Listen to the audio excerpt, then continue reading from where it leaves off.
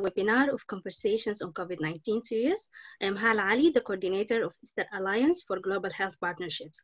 Today's webinar is the ninth in the series, and these webinars take place every Friday at 12 p.m. GMT. And every week we host experts from different academic and professional backgrounds in global health and healthcare to discuss various aspects of COVID-19 pandemic. It's our pleasure today to co-organize this webinar with the African European Parliamentarians Initiative. The African European Parliamentarians Initiative is a non-profit organization which promotes good governance, human rights, and democracy in Africa.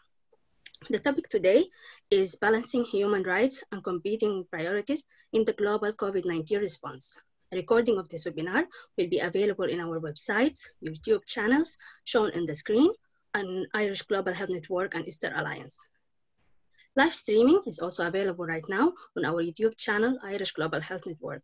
If you have any questions during the webinar, you can use the question and answer feature in the bottom of the screen. For now, I will leave you with my co-host Nadine Ferris-France, the Executive Director of Irish Global Health Network, to introduce, to, to introduce the speakers and uh, lead the panel discussion. Thank you, Hala, and uh, welcome everybody. Delighted to see so many people and welcome to our amazing panelists.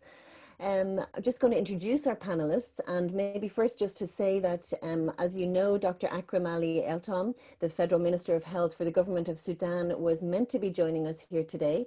And unfortunately, we were in touch with him all the way along this morning. Unfortunately, despite his best efforts, as you know, in a time of crisis like this with the health system and economically, he wasn't able to join us this morning. But we do hope that he will join us in a subsequent uh, webinar.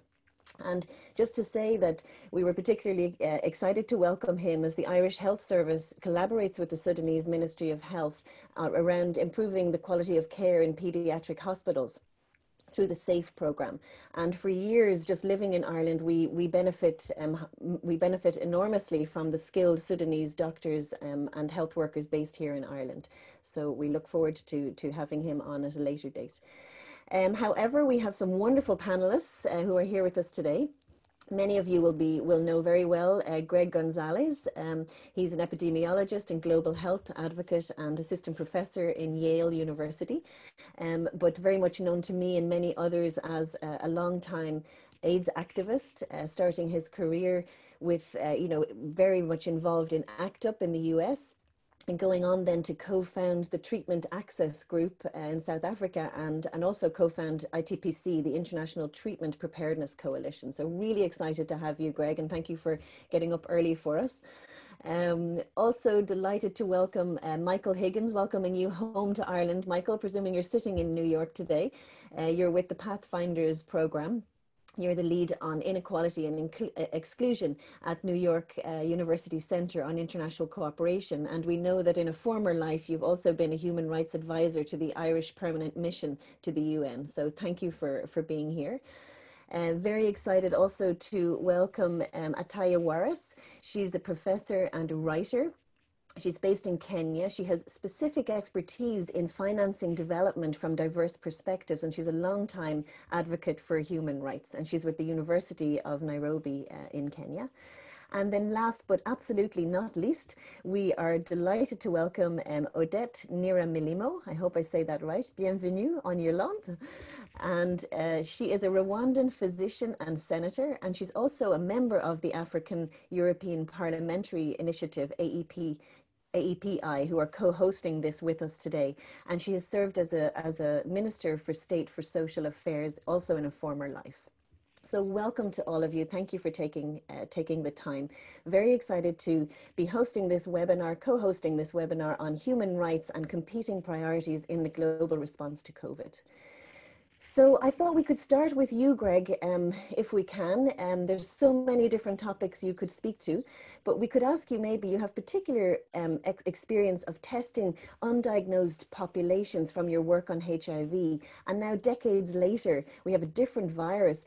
What are the key principles that we should be bringing to testing and to human rights safeguards when it comes to COVID-19? So I, I think no matter where you are, um, well, actually, I'll, I'll start with in the US. We, we, we test very few people and we, we apparently don't have the capacity to test everyone in the country. So it's a question of where are you going to find uh, those who are most at risk of, of, of SARS-CoV-2 uh, infection. Um, what's been interesting is uh, all diseases are not alike. They all have their, their uh, disparities that they bring along with them. Um, in the United States, it's pretty clear that uh, people mo most at risk are people in high proximity, uh, low work from home locations. So they have a tendency to be um, in those professions which they don't have the luxury of distancing. Uh, uh, and when they do have to go to work, they're, they're cheek by jowl with other people. So we're thinking of uh, professions where we've seen outbreaks in the US, meatpacking plants, um, nursing home workers, not only the, the, the, the people who live there, uh, uh, uh, prisons, but also grocery stores and things like that. So trying to figure out where people are is, is an important piece of the testing puzzle. The other thing it's interesting to know that in the state where I sit in Connecticut, 60% of the, the, the deaths are in uh, nursing homes and the other in communities of color, African American, Latino communities around, around the state. And so we need to make sure that there's access to testing, but also it's done equitably. Um, and this, you know, um, these sort of uh, ideas mean even more in places where testing reagents and testing kits are even in scarcer supply. Yeah, Gregg, thank you for that. We really, really appreciate the experience that you have on testing, given that, you know, that it's the kind of everybody is talking about how to test, who to test, how much to test. Um, what about, you know, some of the work, I mean, you've worked in many parts of the world, but your work on Africa, you've worked on HIV, you've worked on TB, you've worked on, on silicosis, you've worked on cholera. How do you see COVID-19 um, among the hierarchy of needs, particularly in life in low middle income countries based on your previous experiences? Um, you know, after going through the HIV epidemic, I thought like, you know, I'd only see one catastrophic pandemic in my lifetime. Um, mm. Um, new disease, not leave TB out of it. Um, but COVID-19 is, um, I, don't, I think it's a world historical public health event. Um, I, I, think we haven't seen anything like this since the 1918 influenza pandemic, um, which none of us are, are, old enough to remember or, or to feel the effects of. Um, you know, everything is going to be COVID-19 for the next three to four years. Um, what I worry about is the, kind, you know, from my work around the world is that we're going to forget about the epidemics of TB, HIV, hepatitis C, malaria, um, other major killers of people around the world. And we're going to see excess deaths. What we're going to see is people dying of COVID-19 in, in in the tens of thousands, hundreds of thousands around the world, but we're also going to see people who otherwise should have been alive dying from the diseases that we were so desperately trying to fight before all this broke out. Yeah, yeah, absolutely. Yeah, and I mean, I think when you're thinking about um, human rights, I mean, we talk about human rights, and we really are. You know, everybody's very aware now. I think, unlike with when the AIDS epidemic was was first coming out, people are very aware of the importance of human rights and a human rights approach. But nevertheless, it still can be difficult to be practical about that, especially in a time of emergency. So, practically, you know, how can we integrate an effective human rights framework into COVID responses? And I would say that's both for like for high and for low middle income countries. Any advice? Advice, any suggestions, anything to share with us? So the way I think about it is that none of us are safe until all of us are safe, right? Um, and in my community, it's people who are homeless, people who are use drugs, sex workers, people who don't have the luxury of sheltering in place, or people in in in our prisons and jails um, who are in these congregate settings, which basically throw them into the passive epidemics. And so um, human rights is even more important than ever because if we think it's just about the people who are able to shelter in place and can weather the storm over the next few months, um, we've got another thing coming. And unless we can uh, get rid of COVID everywhere, we're not going to get rid of it anywhere. And it means the least among us are just as important as the most powerful people in our societies in terms of making sure they're cared for, making sure they have the ability to protect themselves from infection. And that's a basic human rights principle. Yeah, and then Gregg, I mean, what would you say to us if you were, you know, if you were to say, look, these are the three things that no matter what else you do, as you think about COVID and you're trying to respond, these are the three things you must do or think about in terms of human rights to make sure we're on the right track. Well, one is to speak out. Um, we've seen a lot of leaders behaving badly across the world, um, from Boris Johnson in the UK to Donald Trump here in the United States. Um, you know, and I think speaking out on behalf of, of the most vulnerable is, is really important. It's very easy when you feel um, under siege yourself in your house, having left for, for days, um, that you forget about other people. The other thing is, is that it's about uh, having a global, global framework. You know, a lot of worlds shrink to your town, your state, your province, your, your country, and you get all caught up in that.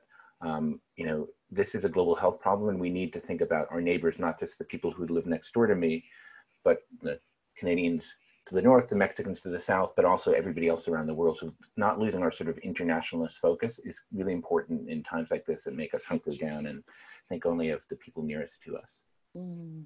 Yeah, I mean, I think you're also speaking there to solidarity, which has come up quite a lot in almost in every webinar we've had. And, you know, you know, it, within that kind of frame of solidarity, you often talk about uh, agency. You talk, you talk about the topic of, of health agency, um, you know, in health policy, and you know, particularly in your work with with health uh, with with policymakers. You know, you talk about the the lack of investigative journalism into, for instance, President Trump's COVID nineteen policies uh, you talk about a lot of you know you talk about so many things but you know talking about the agents who are the critical agents in informing an effective rights-based covid response across the world?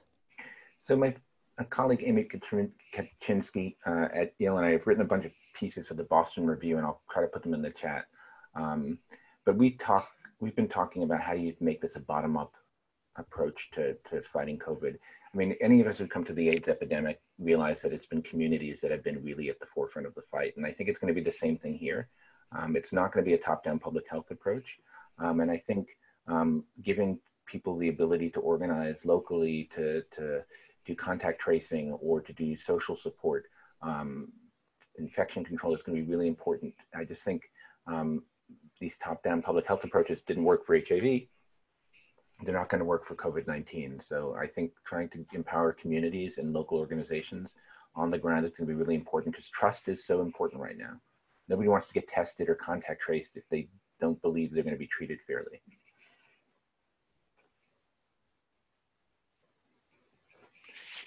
just so similar from the AIDS uh, from the AIDS epidemic. You know, we could be talking about about HIV in the early days here. So you know, and it's it's just so good to keep our learning as fresh as we can. Um, brilliant, Gregg. I'm going to leave it there with you and move across if I can. And I'd love to circle back around to you and, and just hear back from you again in a little while. Um, I'm going to come to uh, Rory, who um, normally I, I, come to first. So Rory, Professor Brugha from the, he's a former head of the Department of Epidemiology and Public Health in the Royal College of Surgeons in Ireland. And he's our webinar anchor. And um, Rory, it'd be lovely if you could just give us a, a, bit of an overview as well. So just, just take us to, to uh, the context of where are we at right now with a little little bit on epidemiology and just some of your perspectives from this week. You're muted, Rory, still muted. Thank you, Nadine. So uh, while Ellen is just pulling up uh, the slide there, um, it uh, some of the themes that uh, Gregg was just talking about actually come through.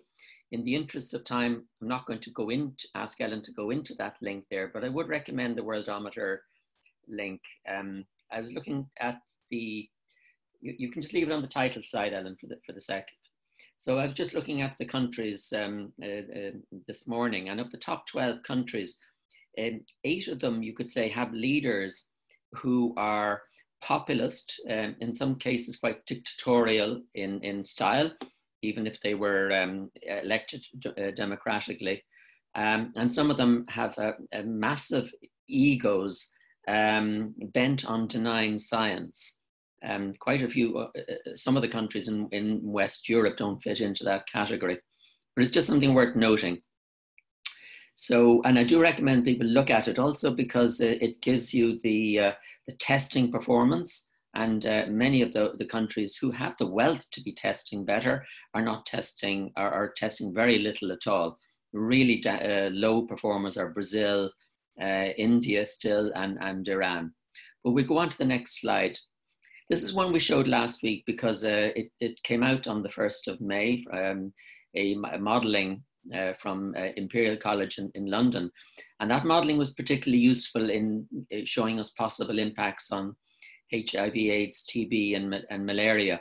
But I was a bit skeptical, I think I expressed it at the time. If you look at the, the estimated deaths that they modelled, um, uh, And, and if you looked at it for, for, for Africa, that would be equivalent to 7, 7.3 million deaths in Africa.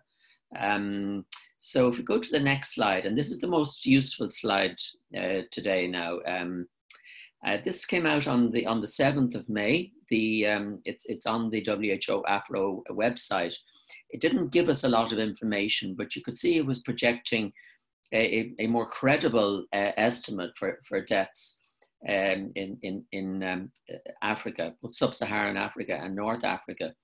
But what I put in there at the bottom is this paper that just came out um, this morning. It's um, been accepted in BMJ Global Health. And this is from WHO Af- Afro uh, in, in Brazzaville. And I think it should, gives us some encouragement because it, it comes up with, I think, our more plausible estimates of the numbers of symptomatic cases um, 37 million, 150,000 deaths, uh, hospitalizations. Yes, it's going to be hu- hugely um, traumatic for African health systems. It, at least it gives us a scale of the problem. And it has tables there which bring down these estimates to individual country levels. And I think where Africa is, is going to be in a better position when it actually has a grasp of the, of the challenge uh, facing it over the next um, one to two years in, in, particular. So I would recommend you to go and read that paper if, if Africa is your focus. Um, so we go on to the next slide. Uh, and I think if you look at some of the factors uh, that might explain why Africa in some ways may be less impacted on, um, at least in terms of the scale of the, the COVID epidemic, and, and as Gregg was saying, and we talked about last week, it's more the indirect impacts that would be the biggest concern. But it has a younger population. Um, I, I, have heard that something like a million people have left Addis Ababa to go back to the rural areas. It's um, the ex- excess mortality may not be measured to the same degree, which is a concern. But also, I think Africa may be able to draw on experience and, and uh, of Ebola and of other communicable diseases uh, and while a month ago, six weeks ago, I was predicting uh, um, a, very bleak picture for Africa, um, I, it may not be as bleak. But as we looked at last week, and as Gregg mentioned there, the impacts on HIV, TB, uh, malaria, so you have links for that. I put in a link now to a, a Lancet paper on mother and child health. Um, David Weakliam sent around one this morning from WHO on the impacts on mental health. And in a couple of weeks' time, I think we're going to focus on some of these priority uh, uh diseases. In previous uh, webinars, we've talked about the importance of the resilience of, of health systems. And WHO AFRO have come to the conclusion that yes, we do need to do containment at the moment. Uh, the epidemic is somewhat delayed and we'll need to move into mitigation. But at least we have a blueprint for Africa. And that's the one thing that encourages me. So I think the next slide then. So I've just got three slides here, which I thought would frame today's uh, uh, talk. And, and um, uh, Ellen uh, uh, put, it, put these up uh, for people to refer to during the webinar. So the, the response, which has been updated over the last week from the UN, is firstly a human, humanitarian response. And, and it's, it's, it's quite a broad brush one, but it's trying to get this macro level picture. Let's go and look at the second one. You can all read these on your slides. This fits very much with what we talked about in previous webinars, uh, an eight pillar public health response from WHO. And we've given you some links previously to uh, uh, guidelines from WHO to enable countries to respond. And then thirdly, I think is this the broader framework that we need for the socioeconomic uh, response. And this is the one that goes beyond health systems. So we're getting a blueprint from, from the UN organizations uh, who have performed remarkably well during this epidemic, far better than some of the wealthiest countries in, in the world. And I think now I'm beginning to see hope because uh, we can see a direction ahead. So I'll leave it at that, I think, and hand it back to you, Nadine. Thank you, Rory. It's um, it's really, really useful to to be seeing that, and as well to be kind of seeing this week by week. This is the uh, the ninth webinar that we've had, so the ninth Friday we've been sitting together, and um, it's just really interesting to to see how it's uh, how it's moving. So thank you for that.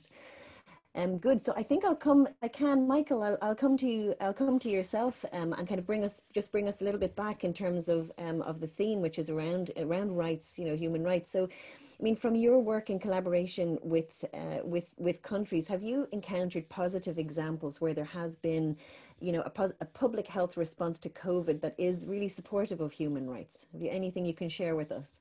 I'm just checking my. I'm unmuted. You're unmuted. Yeah, okay. we can hear you very well. So yeah. To, just to explain briefly to some others, I, am part of a platform that kind of shares lessons and experiences between um, a kind of a cross-regional collection of countries about addressing inequality and exclusion. But since the advent of the COVID-19 pandemic, it's also kind of become a vehicle to share experiences of lessons about responding um, to the pandemic. So, you know, there it has been very challenging overall in terms of the uh, rights response.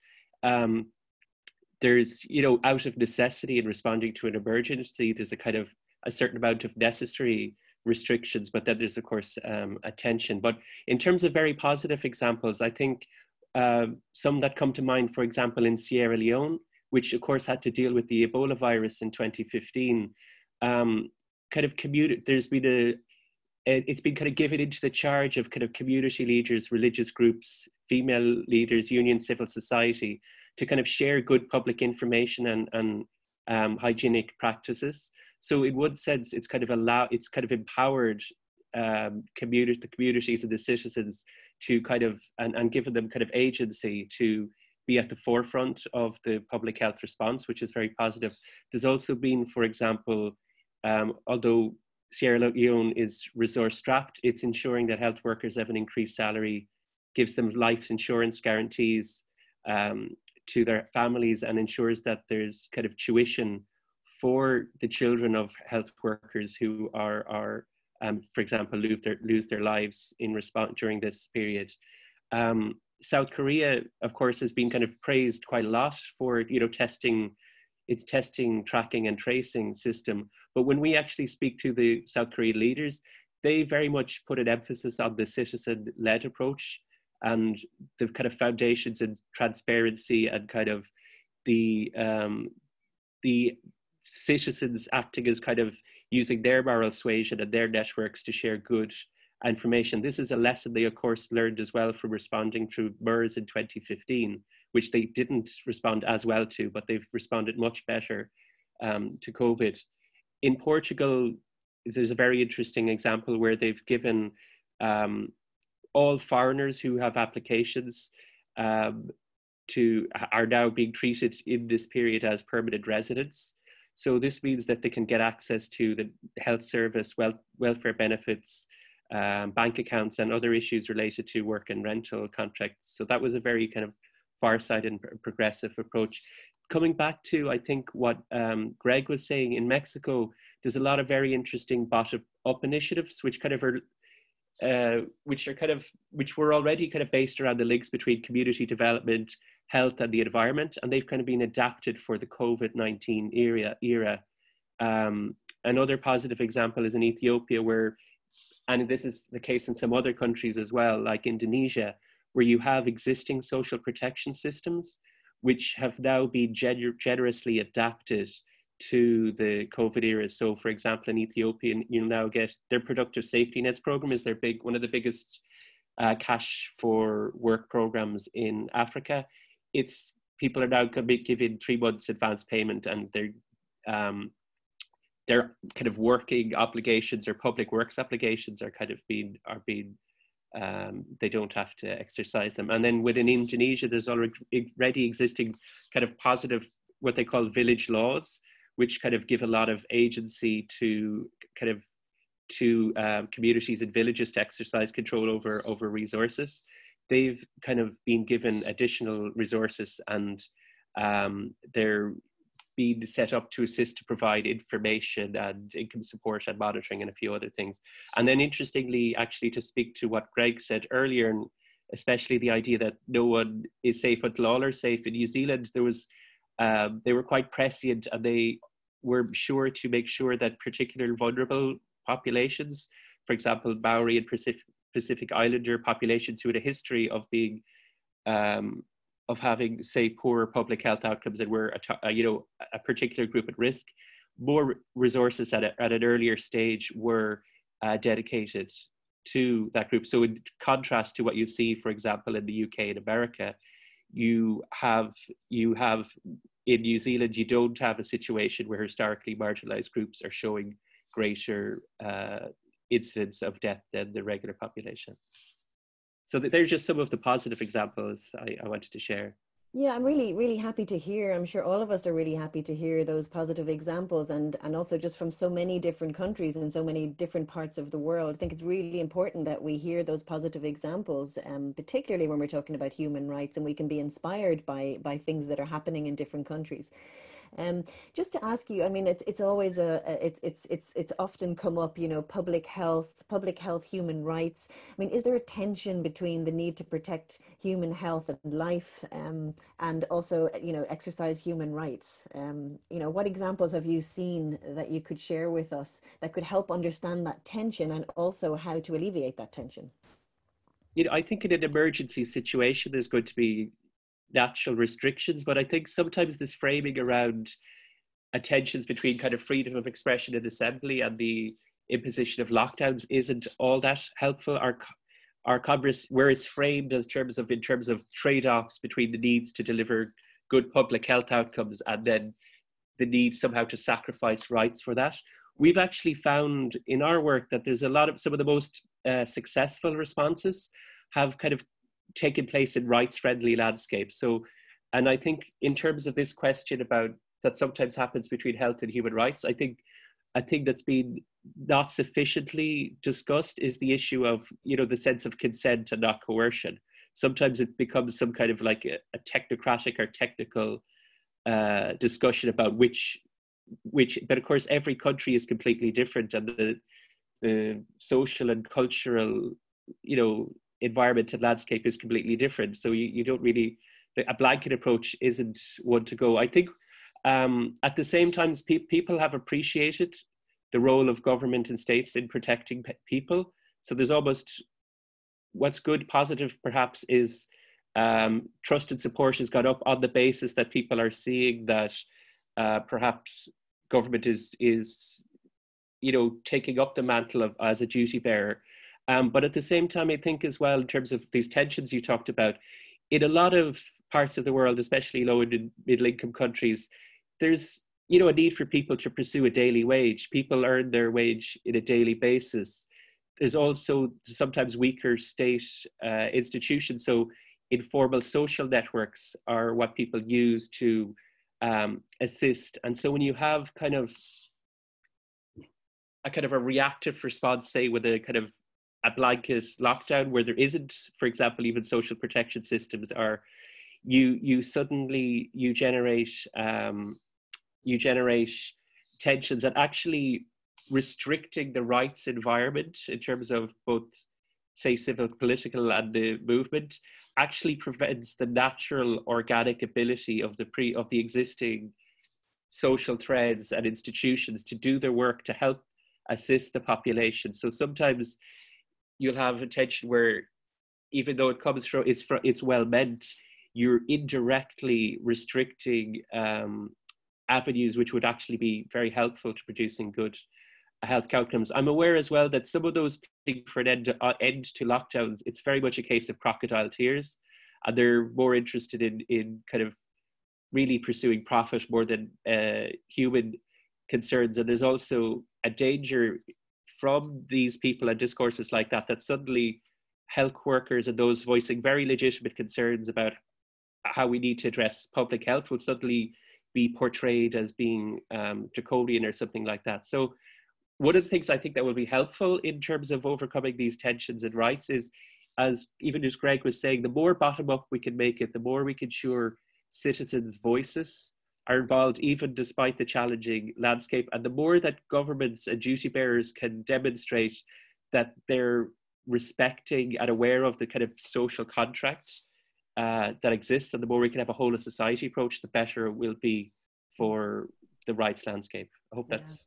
Yeah, no, very, very clear, Michael. Really, really clear points. Um, maybe just the same question to you as I asked to Gregg just before I moved. I mean, if you were to give us, you know, three things that practically we could be, you know, we should say yes if we if we really want to make sure that we have a good human rights response. What are the three things that we must not forget?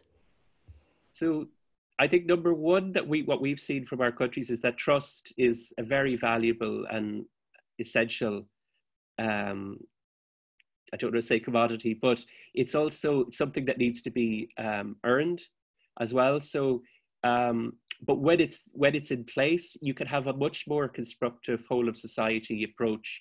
Restrictions can be imposed, and they'll be seen as well intentioned. Um, where we found where there's where there is a, a great degree of political polarization and distrust, kind of a collective response uh, is harder and getting good information out is is harder. I think something else I've seen is that interestingly, there's a sense of um, resilience is another kind of factor. So in Korea, because they had the experience of MERS in 2015, which showed it showed them that where there was a poor information environment, it led to kind of feelings of insecurity and people not reporting.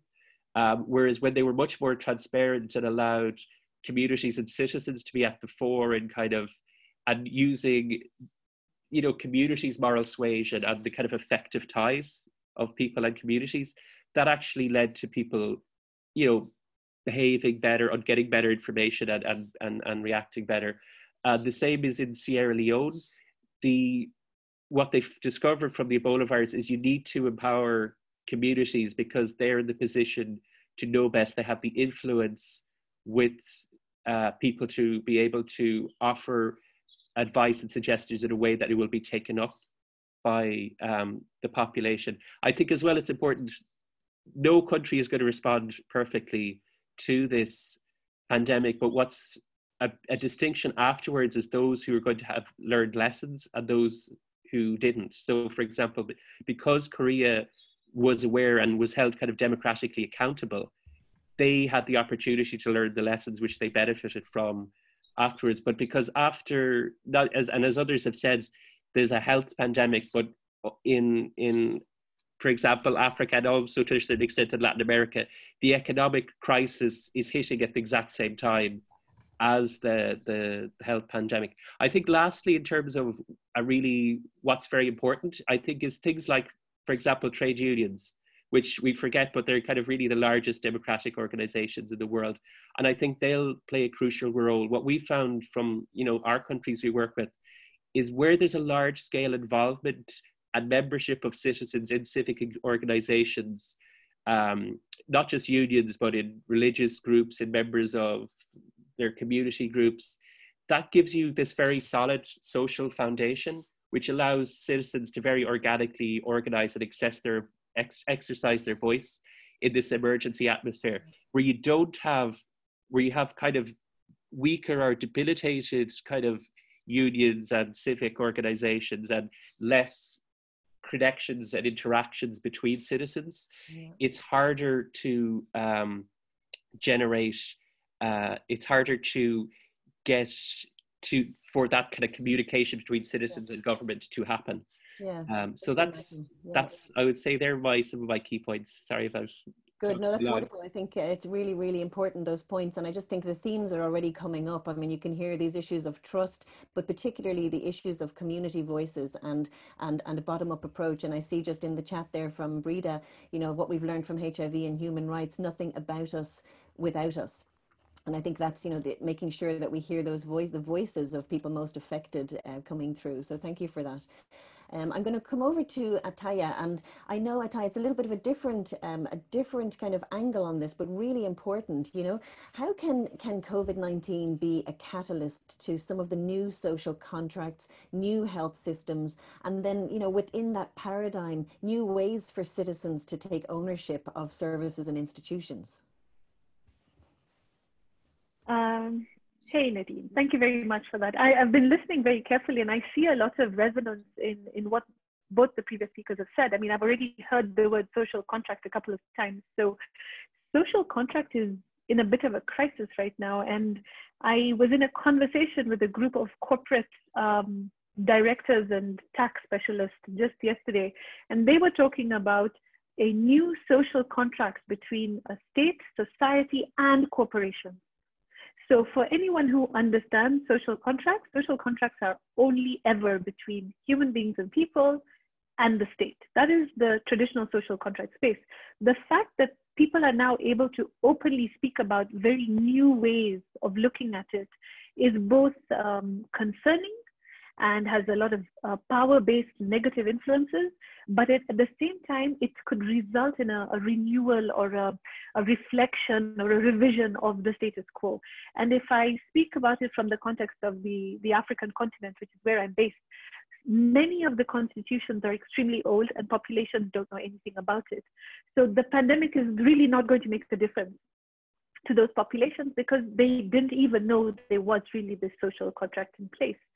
But for those who are in countries like, for example, Kenya, my own country, where the, the constitution is 2010, it's already in the living memory of the existing population that the state has got rights and responsibilities and has power as well, and that the population can now begin to action on those issues. And I think that in those spaces, there's a faster reaction. There's more engagement with actually activating the social contract, I would say, before we even talk about a new one. And in the countries where the constitutions are much older, conversations being had about what is the state's responsibility and why are they not doing what we think they should be doing. Um, we have a couple of policies. For example, there's one in Rwanda. I will not go into it because, of course, we have Odette. But um, in Kenya, we have a similar one where we have a, a 10 family grouping policy. And one of the first things government did here is they said, when we're quarantining, you need to let government know if your neighbor arrived back and uh, did not report in for quarantining. And I think that that is really quite important um, in many spaces, that there is this sort of community based approaches. Now, it has the negative part of it, which is you're reporting on your neighbors. That also has negative connotations to it. And so surveillance issues within a social contract are also coming up. I'll stop there because it's, it's a much bigger conversation, of course. Yeah, no, really, you, really important points. Attiya, your video has gone, and that might be okay. I think it was freezing a little bit, but um, but totally up to you if you're coming back on video. There you are. Okay. okay yeah that's um, fine yeah. so you also talked i mean you're talking about about the shift as well um you know what about i mean if with this transformation that that's that's likely to be taking place i mean how, who's going to pay for that? And and how can these systems you know as they move to new systems be be made sustainable you know? So th- that's actually a very interesting question because at the global level, all of our discussions around financing the health uh, systems crisis, because of course, when you're not coming in from health, you see it as a very uh, cut and dried uh, topic. Mm-hmm. When, when we're looking at it from tax, where we first looked at it from the perspective of what do you have in your budget and what do we need to shift that you're not spending anymore? That's always the first step. The second step was once you've shifted the budget that is not being used now, did you have an emergency budget? And I, I, I liked what Rory was saying because one of the few countries that have publicly available data on their emergency funds is actually New Zealand. So it's quite interesting that we're drawing the same conclusions, but from different spaces.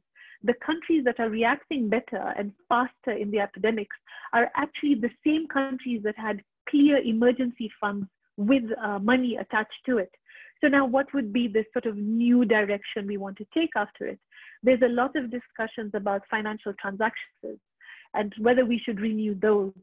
There are conversations around taxes on climate for protecting the climate, on carbon taxes, taxes on the environment.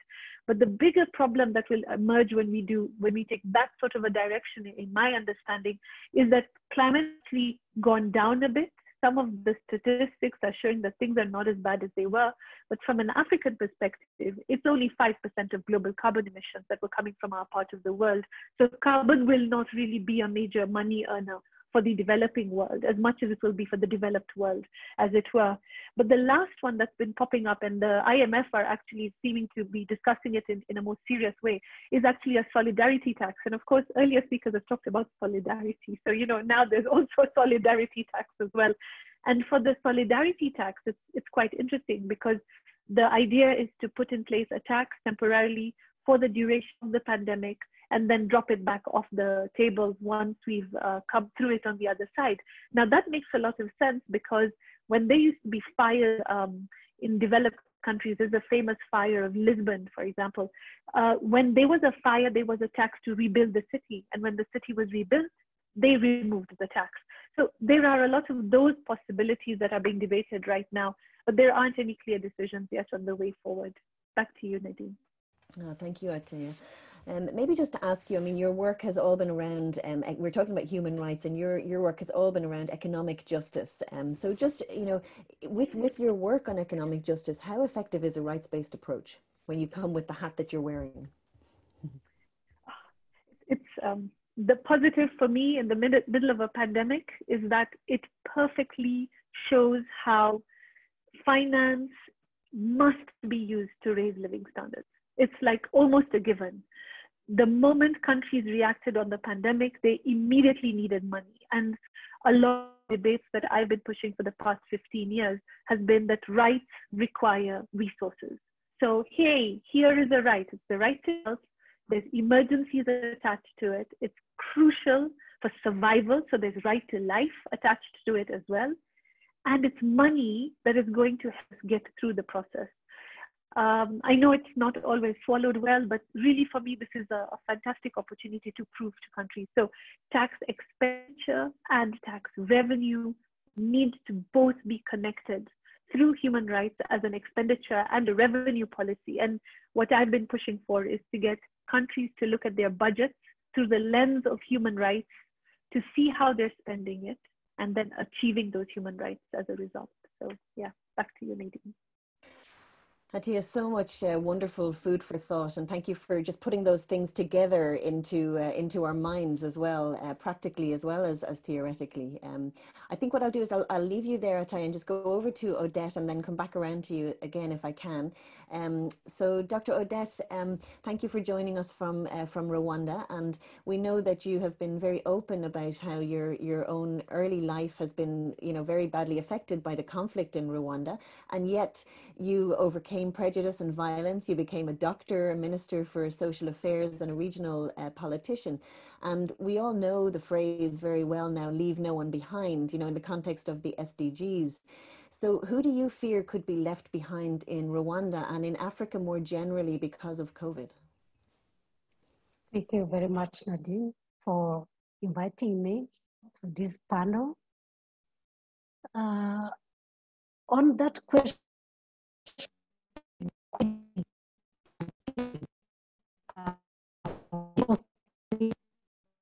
people working in the informal sector. It is very hard for them to survive this pandemic, but at least in Rwanda, I can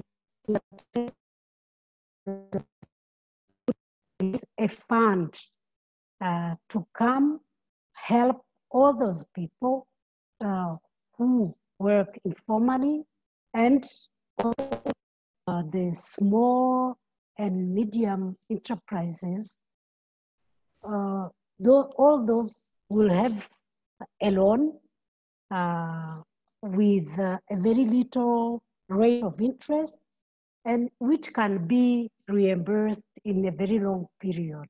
And uh, there's even a period uh, where uh, the government said for three or five years, no payment because we still don't know how long this pandemic will last.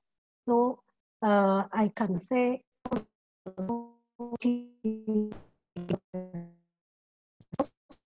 those who are we're just not hearing you perfectly just at the end there. It might be an idea as much as a shame. If you could just to turn your video off we might be able to hear you while you're speaking just a little bit better.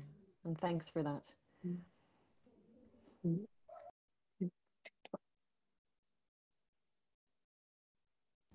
That's good, Odette. We can hear you.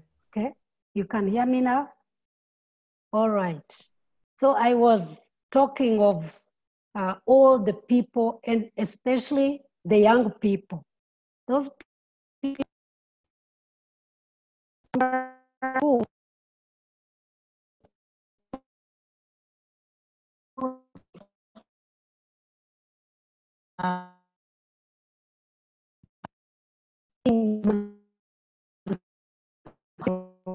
because uh, what I can tell you is that in Rwanda, we have no new infections from yesterday.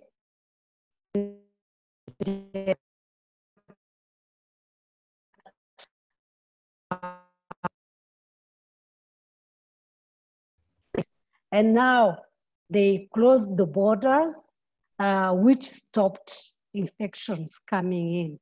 So uh, we think that uh, maybe now because the uh, confinement is slowly uh, being released, now we can't talk of lockdown anymore. Uh, people can go to work uh, within one province and it is very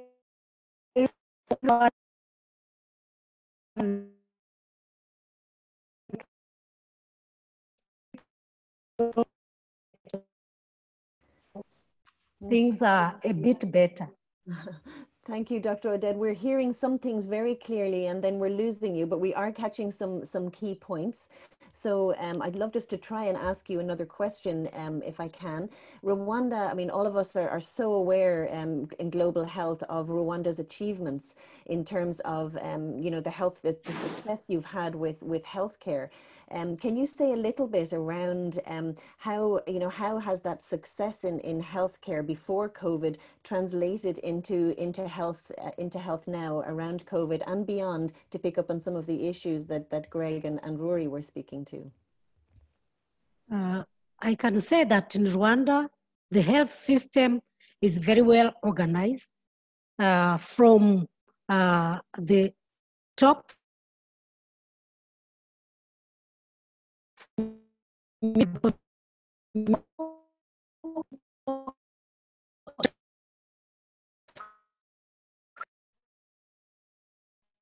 their neighbors on what to do when there is a problem, which has facilitated also uh, the communication from the government, from the Ministry of Health, and uh, that helped very much in tracing also because the community is very, very organized. Mm. And uh, today, uh, we can say that what facilitated also is that from the beginning, the government has uh, really uh, enforced uh, that while in our in some of our neighboring countries, uh, you we see we still see uh, the I say the the, the fear of uh, lock, lockdown, even when the government talk of lockdown, but in Rwanda it is much easier because of the systems on and how they've been organized. Mm. Yeah. yeah. yeah. Do you hear me better now? Yes, on and off. We're really able, we are able to catch your your key points. Um, so thank you for that. We we absolutely we absolutely heard that. Um, I think what I will do, if, if that's okay, is just invite the um, the panelists just to to come back on with your video, and maybe I'll just come back around to you and ask for any responses. I mean, maybe Gregg, coming back to you, um, just to ask for any responses to what you've heard. Um, you know, just just to to to to give us more food for thought and kind of keep us on the right track. Um, one thing I didn't hear talked about was um, hoarding by Europe and, and, and the United States and other big countries of key medical supplies, tests, PPE. Um, I, I think, I mean, I'll just talk about my own government. I don't think my own government cares about um, equitable access around the world to the commodities we need to keep people safe. To, to we haven't even talked about vaccines or or treatments and how we're going to ensure equitable access to it. Um, but we can already see that um, some countries are, or it's all for me, it's all for our people. And I think we have to sort of, again, think more in terms of solidarity and equity and, and access like we did with HIV. Yeah, yeah, thank you, Gregg. Um, uh, Attiya, how about you? Would you give us a give us a give us a response there for just in terms of um, you know what what are you thinking on that? So um, a little bit about what Odette was saying, and again now um, what has just come up. So we so at the University of Nairobi we have a we have a process in place where we are trying to support research uh, on this particular area. And one of the things we found out very quickly, for example, was that a lot of the ventilator uh, tenders that had been given out to companies uh, across the world, and I'm not going to name any names, were actually cancelled because countries in the global north um, actually put in higher prices to receive the ventilators that were already being made. So our ongoing um, health uh, structuring was actually destroyed while and that, that talks a little bit about what Rory was saying, I think, about, you know, there's the existing health system that was ongoing being built up, and then you have this new set of health uh, healthcare needs coming up. And so our existing system's already been debilitated by that. Um, we've also had additional problems with other kinds of equipment that are being rerouted back to other countries or stopped at borders and returned because we can't get them. Um, I'd like to think that the positive out of that is that we will learn to be more self-reliant. And one of the effects has been, for example, that we now have um, mask manufacturing companies already set up within the country. We're retooling manufacturing um, for the region. And uh, the second thing is in partnership with other universities globally, we actually have our own ventilator being uh, developed. It, it, was released uh, two days ago and we have another ventilator popping up. So we're getting to be a bit more self-reliant as a result of it, but the pressure on the system, unfortunately, because of lack of solidarity, has just happened the way it has. Now, the unfortunate thing is countries look inward in terms of crisis first, which is exactly what has happened. So can we really blame countries at a certain point? I think not. But then after a certain point, I think we need to move towards being very realistic and very humanistic about it. The mm. only other thing I'd like to point out is we rolled out a series of um, suggestions to the Kenya government, and they've actually implemented some of them, which is fantastic for us. I think that the traditional stakeholders continued to be ignored initially, but with the lockdown, you suddenly couldn't access consultants from abroad, which was fantastic. Local consultants who'd mm. been left out of the system. And so, what we have in place now is I have 80 researchers at the University of Nairobi, all of whom are working on different elements of COVID, whether it's economic or masks and innovation, or it's the vaccine trials. And I think that, that we've managed to actually open a corridor to our own government that didn't exist before because we blocked out international consultants. I mean, it's, it's the flip. The flip is helping us as well. Um, but the other thing we noticed is some of the things that government started to roll out were not very good. So, for, for example, in quarantines, we rolled out the quarantine, but um, you had to pay for it yourself. And if you were poor, like who travels? We, we assume that it's middle and upper class traveling.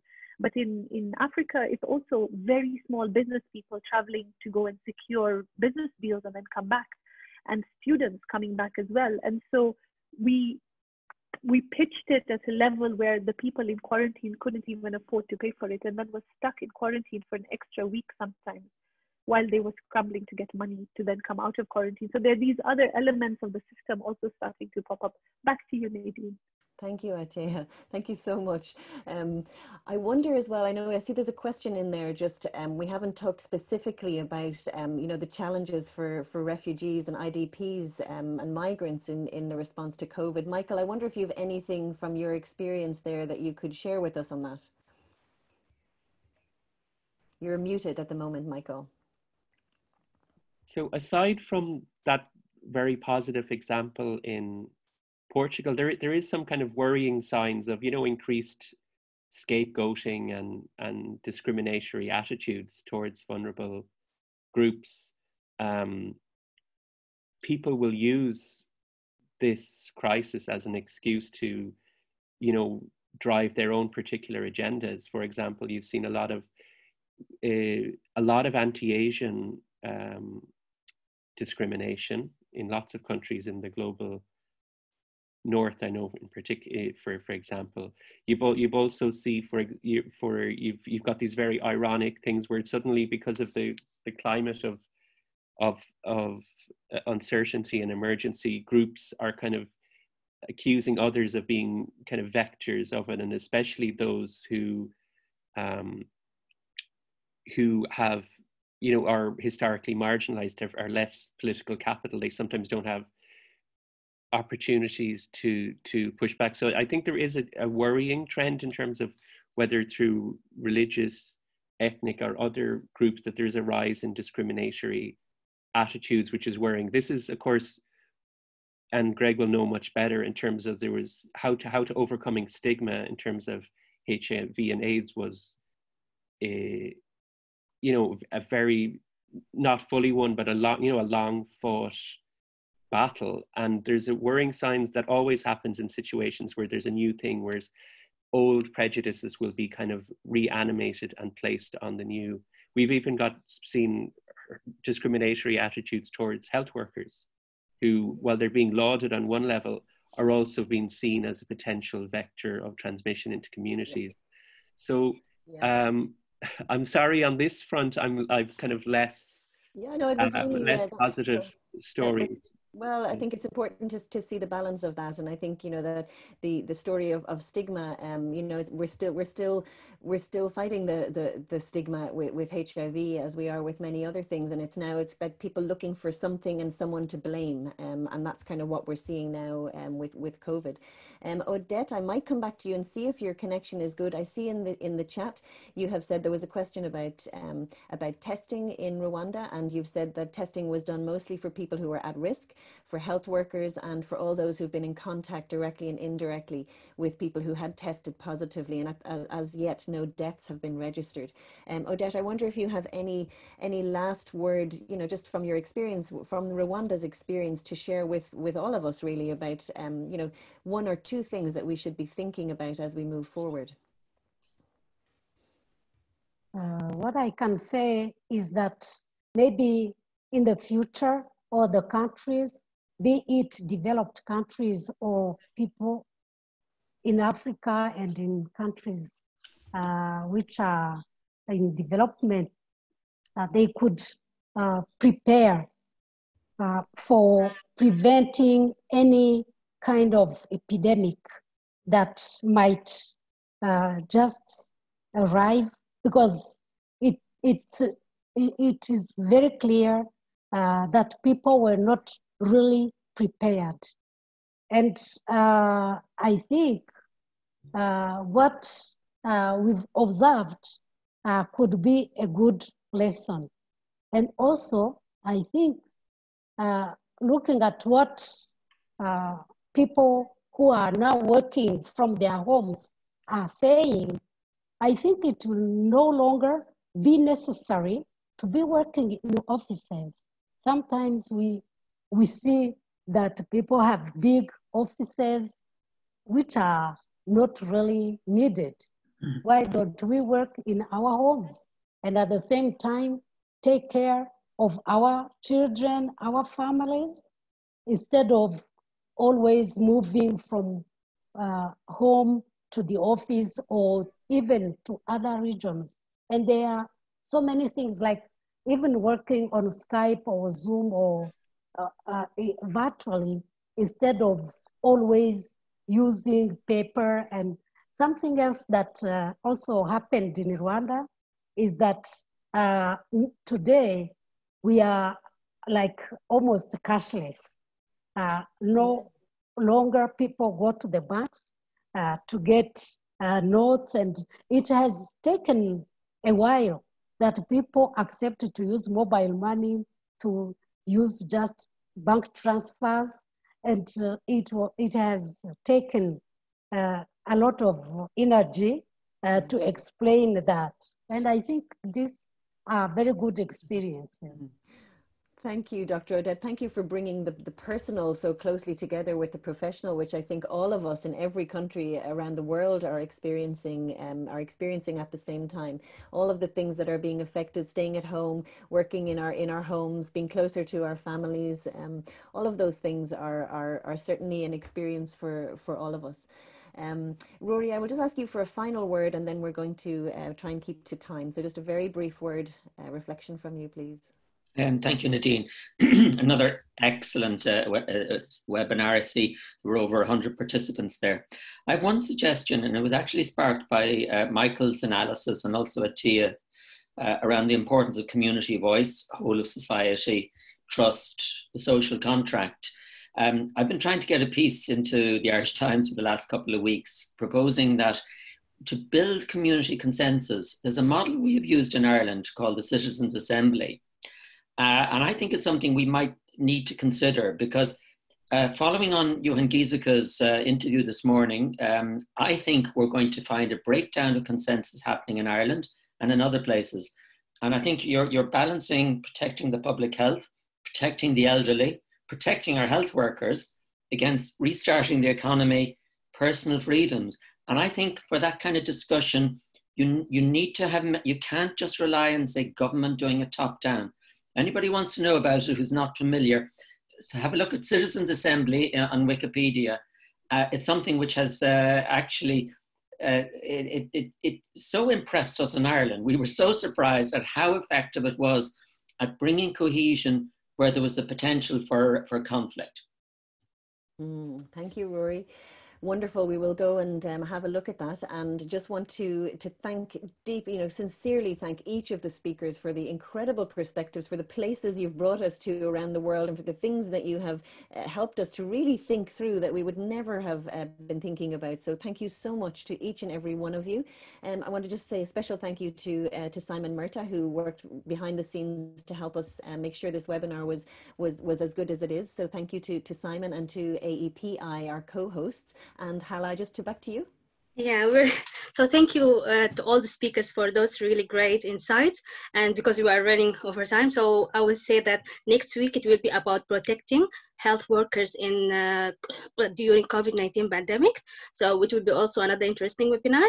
And uh, if this recording will be also available in our YouTube channel and also on our uh, website and newsletters. And uh, those are the most important things. And uh, yeah, thank you everyone. See you next week and stay safe. Thank you. Thank you. Thank you, everybody. Bye-bye. Bye. Bye. Thank you. Bye-bye. Bye. How do I